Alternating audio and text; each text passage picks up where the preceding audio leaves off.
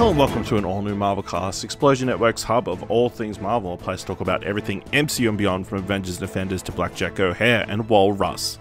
My name's Ashley Hobley and join me today, the astonishing Dylan Blight. Uh, happy to be here. Talk about the upcoming Guardians film, the last one. We assume. Yes. Guardians of the Galaxy Volume 3, Marvel dropped a trailer during the Super Bowl. Uh, we're here to talk about it, of course. This is directed by James Gunn, uh, written by James, starring all our lovable Guardians, including Chris Pratt, Dave Bautista, Karen Gillan, Pom Klementieff, uh, Vin Diesel, Bradley Cooper, and Zoe Saldana. I'm gonna tell you something. I'm Star Lord. I formed the Guardians. Met a girl, fell in love. That girl died, but then she came back. Came back a total dick. Oh, please. He left out some important information, but that is the gist of it. I get the same old dreams, same time every night. Fall to the ground and I wake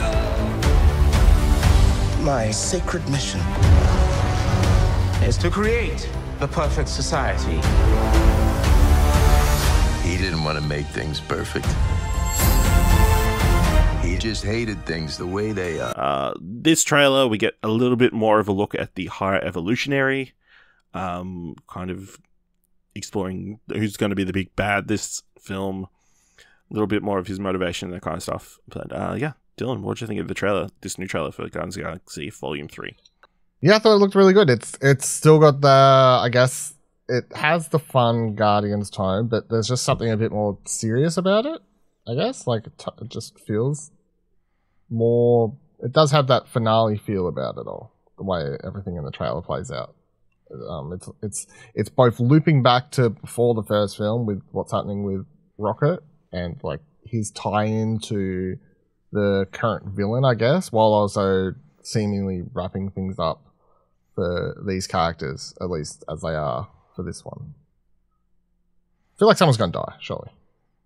Yeah, they're clearly setting it up, um, in the marketing at least, that somebody is not going to make it to the end of the, the trailer and the way they're talking about things and the way it kind of wraps up with, um, will I take one last ride into the yonder or whatever. Um, Yeah. I think it's a fantastic trailer. Um, I think it's interesting. Obviously, like I said, they're introducing the High Evolutionary and kind of explaining him, him not liking how things are about the world and wanting to change things, and him being behind uh, Rocket becoming Rocket. Uh, of course, cute little baby Rocket we see in this trailer, uh, laughing and then with his uh, friend Lyra, Lila, whatever. Um, but yeah, uh, obviously, uh, I think the other key thing is we get to see new Gamora for the first time. I think since Hmm. the end of Endgame. I just don't think she really appeared in the last trailer.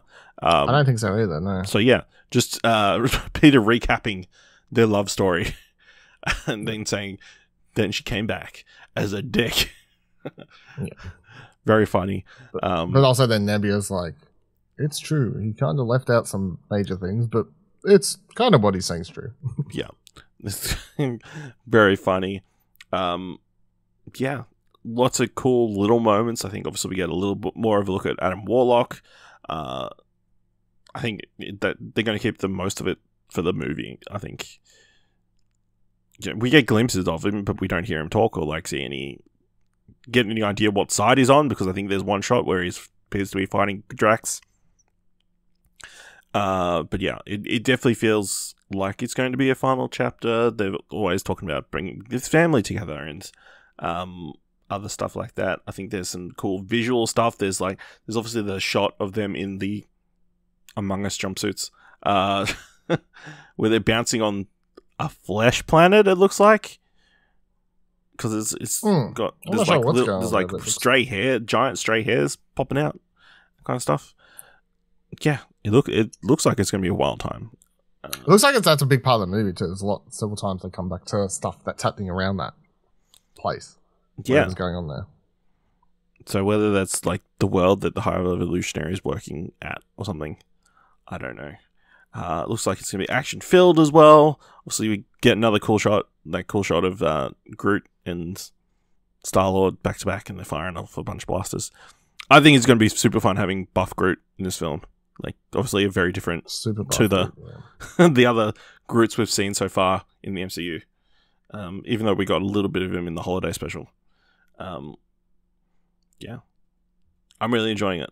I, I really think it's a fantastic trailer, and obviously it ends off with a funny bit at the end where I guess Star Lord finally sees Nebula as a woman. yeah. I've never noticed how black your eyes are. My father replaced my eyes as means of torture. He picked a nice color. nice. Um, yeah, I, I, I'm. It's definitely jumping straight to the top of my list of most anticipated movies this year. Um, It's weird because, like, so I, I watched the trailer for this, and I feel actually excited for it. Whereas we're about to go watch Ant Man, and uh, like, I'm uh, I'm obligated to feel excited for it. I guess uh, uh, out of liking the previous films, but I'd say I haven't liked any of the trailers for that those movies. Um, whereas I at least liked the trailer for this, and I didn't like the last one of Guardians. Like, I didn't think two was very good. So yeah, all right, I really like the music in this as well. I think they Hmm. integrated it very well, and they did in the first trailer as well. But yeah, obviously James Gunn. It's going to be weird. This is obviously the James Gunn's last Marvel movie. yeah, that's the other thing. So his Yeah. last Marvel he's gonna, movie. He's going to be doing press for this while working on the other side. It's weird. Well, it's it's it's both his last Marvel movie, but also everything that went around it. Like he was fired off this, then reinstated, and like, this movie just has so much history. history around it. Yeah. Obviously, all the characters have been doing stuff since his last movie. Yeah, and it's like a very long time between sequels, Yeah. in between Volume Especially Two and Volume Three. franchise, yeah. Yeah, All right. Adam Warlock looks good. We get a few more of him in this, by the way. A few more um, Will Poulter Yeah, but again, he doesn't flying really, around doing stuff. yeah. He looks gold. yeah, there's not much else to go on. So, all right. Let us know your thoughts on the latest trailer for Guardians Galaxy Volume 3 by going to explosion.com slash Twitter or jump to Discord at explosion.com slash Discord. If you want to help us out here at All New Marvelcast, leave us a review on Apple Podcasts or on Podchaser. Leave us five stars anywhere you can leave five stars or head over to explosion.com and check out our news reviews and other podcasts. Uh, and if you like this episode or like what we do here at All New Marvelcast, leave us. Uh, you can head over to our Ko-fi page at explosion.com slash support. Uh, so, Guardians of the Galaxy Volume 3 coming later this year, but in just a few days, we're going to be watching Ant-Man and the Wasp Quantumania, and then we'll be talking straight about that. So watch that movie and join us next time for another Marvel Cast.